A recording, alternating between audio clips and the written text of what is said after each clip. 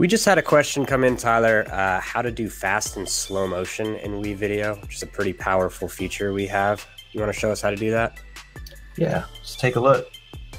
Great question. So if you double click your clip, you'll enter the clip editor and we'll see the speed tab. So click on that.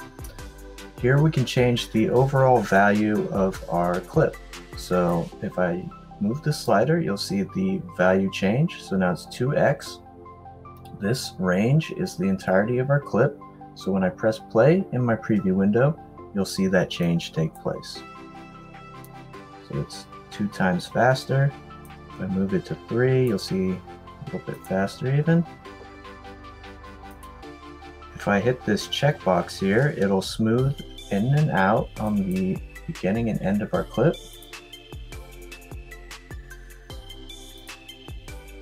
And then finally, if I change the range here, it will determine where this value is taking place.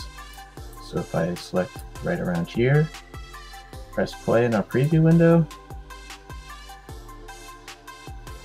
you'll see it change from fast and back into slow motion.